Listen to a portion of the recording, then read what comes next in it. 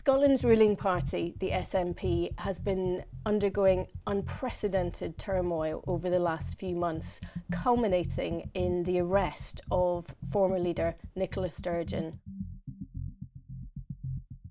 The breaking news to bring you. In the last few moments, Nicola Sturgeon has been arrested. In connection with the ongoing investigation into the funding and finances of the Scottish National Party. Although her arrest was obviously a very dramatic and shocking moment, it was not the first arrest in this ongoing investigation. A 58 year old man has been arrested this morning. That 58 year old man is understood at this stage to be Peter Murrell, the husband of Nicola Sturgeon. And detectives are understood to be questioning him about how how money set aside for the Scottish independence campaign was spent. Just like Sturgeon, he was then released without charge pending further investigation. Less than an hour after she was released, actually, Nicola Sturgeon herself uh, put out a statement in which she very strongly protested her innocence.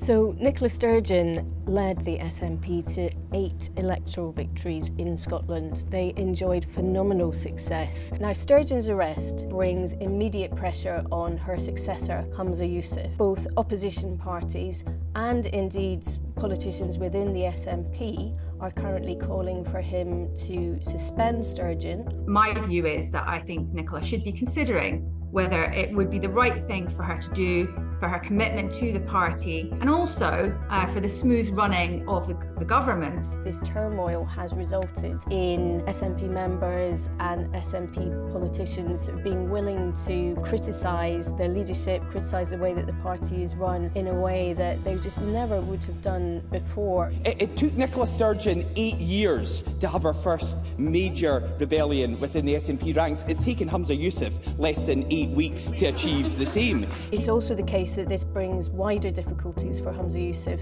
who very much pitched himself as the continuity candidate during the leadership election. Sort of questions, first of all, about how he escapes the shadow of Nicola Sturgeon, but also sort of bringing very much back into focus these questions about transparency and governance within the SNP.